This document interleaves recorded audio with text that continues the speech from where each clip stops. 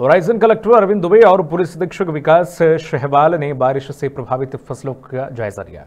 Collector SP ने खेतों में पहुंचकर सांची जनपद के घाटखेड़ी, पिपरिया सहित अन्य ग्रामों की फ़सलों का जायजा लिया। उन्होंने किसानों से भी चर्चा करके जानकारी ली और मौके पर उपस्थित एसडीएम एल के खरे सहित अन्य राजस्व अधिकारियों को आवश्यक दिशा निर्देश दिए।